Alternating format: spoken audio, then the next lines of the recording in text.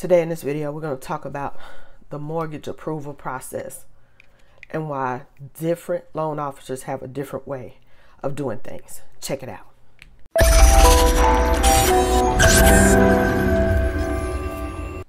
Hi, I'm Rhonda Burgess, and I'm a real estate broker and mortgage broker and mortgage underwriter here in the Nashville, Tennessee area, and my firm is Southern Living Realty Partners. Okay, I want to go over this right quick because um, I see a lot of people getting, um, I don't know, they're getting bad information.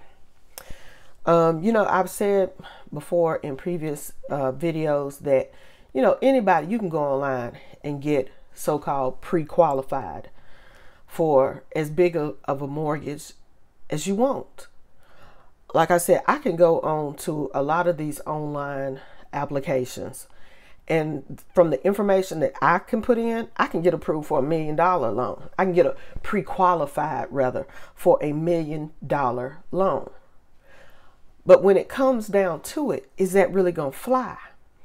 You know, when you're doing these pre qualifications, that's just going off of the information that you put in. Um, Sometimes it may be the loan officer putting the information in.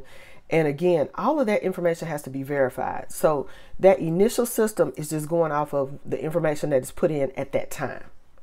That don't mean it's right. That don't mean it's correct. In my opinion, don't go out shopping for a house off of that pre-qualification. Don't do that. You want to have had the computer, the desktop underwriter to at least look at your true numbers before you eat so you can get a good idea of what you can and cannot do, how much you can and cannot buy, you know, and what all you're going to need in order to, you know, get to closing. This is where I like to talk to people. I know I'm different. Uh, sometimes I don't even need to pull your credit.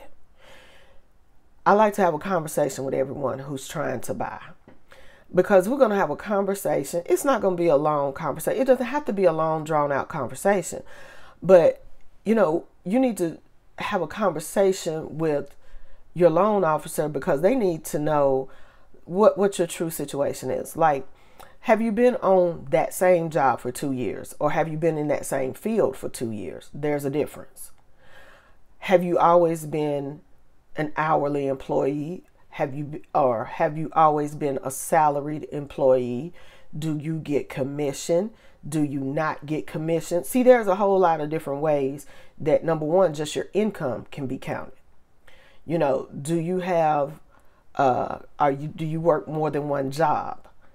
Um are you a gig worker? Do you make, you know, extra money, you know, doing gig work, doing a side hustle or what? If so, how long have you been doing that? Have you included that on your taxes?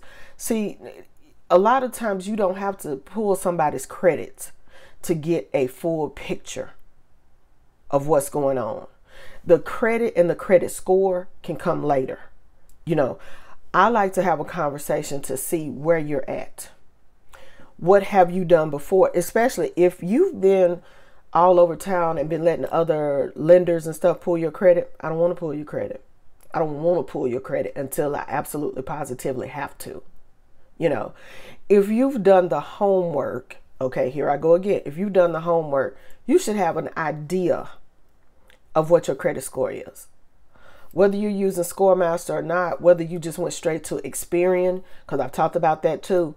You can go, or or if you've gone to um, annualcreditreport.com and um, you've gotten your credit report. Maybe even if you have a credit score off of like Credit Karma or whatever. Sometimes, if I can just hear what the score was, what the score is, and just in talking to you, I can figure out what's going on. You may not always need a credit pull. Okay. So sometimes I can just say to you, this is what it sounds like to me, is where we're at. You know, you you tell me is that is that what you you know is this your experience? Is this where you're at? Is this where you think you're at? Okay? Then once we get on the same sheet of music then we can pr- proceed with pulling the credit and all this. I'm like you i don't i don't like i don't like a whole lot of credit pulls. I know it don't you know, it's it's not necessarily detrimental to your credit. But I took, like I told y'all before, you need to do all your credit pulls within a tight little window. You know what I'm saying? So like the the the scoring model and everything knows when you're mortgage shopping because let me say this when you go to a car dealer and a car dealer pulls your credit they know the system knows that's a car dealer and then it automatically knows that there's probably going to be multiple other pulls behind that because the dealership pulls it but then all of the uh, lenders that they um, that they submit to that they're going to submit your application to may pull your credit too. It's the same thing with a mortgage. When a mortgage company or a bank pulls your credit it's going in and pulling the mortgage credit report.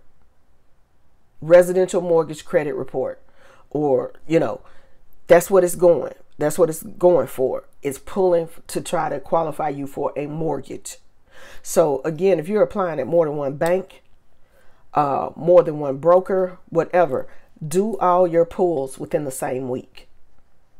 If you're going to do that, you know, if you're applying at more than one place, get all your credit pulls done within the same week or as close together as possible. Same week, same two weeks max. Because otherwise, you don't want to pull, like, you don't want to have your credit pulled now in January and then you don't do anything else with your credit. Maybe you're not ready yet. You know, maybe I'll tell you, okay, you're not ready. We need to clean up this, this, and this. And then you're going to have another credit pull in March or April. You don't want to do that because that, that will cost you points when those when those mortgage credit report pulls are too far apart. Okay. So that's why I'm saying it doesn't always necessarily, you don't have to pull somebody's credit to to really get an idea of whether or not they can be approved you know?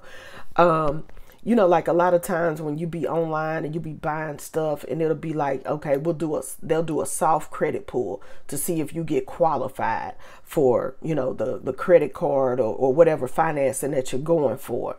The soft credit pull's cool cool because they don't they don't affect your score at all but do not do hard credit pulls. Do not do an application with this lender and that lender and this just because you're not hearing what you want to hear.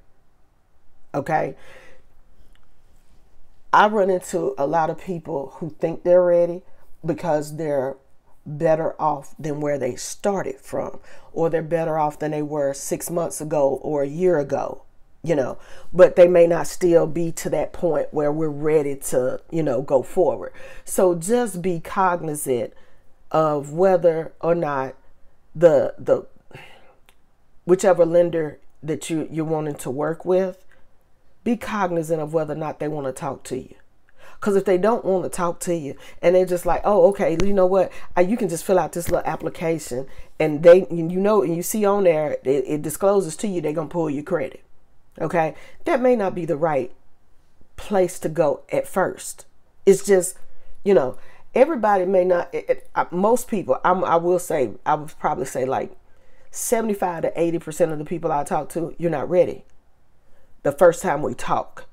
Now, once you, you know, we've talked and we established the game plan because we need to get documents together and everything, because it may be, I may need to calculate your income depending on how you've been paid, if something changed, if you changed jobs, what went on. You know what I'm saying? So sometimes the first meeting may not necessarily need a credit pull. And and that's just my opinion. That's just how I do it. I, I like to develop I have developed an ear and I like to listen to what your situation is because everybody's situation is different. You can have two people that work the same job sitting next to each other, right? Every day. You sit next to to to Susie Q and y'all could be the same age and y'all could be making the same wage and your files are totally totally different because everybody's credit is different. Everybody's situation is different. Maybe susie's getting uh, maybe she's you know maybe she's divorced and she's getting child support. Okay, cool. How old is that child? Is the, is the child support going to continue for at least two more years? If not, I, we can't count that. You see what I mean? You know, I have people that'll say, "Well, I'm on um, I'm on disability." Okay, is that a permanent disability or is that temporary disability? You know, there's a whole lot of different factors that go into, you know, um, applying for a loan and getting approved for a mortgage. Okay. So, again, like I said, I like to talk to you before we even pull any credit or whatever. And like I said, if you've done your homework, nine times out of ten, you've got your credit report. Like I said, either you you you you use a ScoreMaster, you use an Experian, you got a credit report somewhere. We can just look at that credit report.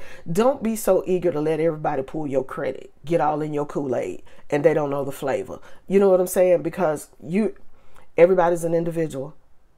And what applies to you may not apply to the next person, or the situation that the next person has may not even apply to you. Okay. So again, just make sure that whenever you're talking to someone, if they're in a rush to pull your credit, mm, I don't know about that. I might would I might would back up off of that. But again, if you're if you're applying now because you think you're ready, if you're to do more than one credit pull, pull them all together, do them all in you know a relatively short amount of time. Um, as I uh, stated in my last video, um, I am originating loans uh, again uh, for a uh, bank out of Texas. So if you need my help, I would be glad to help you. Um, there's two links. There'll be links in the description where you can reach me, where you can schedule a call, and we can we can talk about it. Again, I'm I'm gonna talk. We're not going we not running to pull credit immediately off the rip. All right.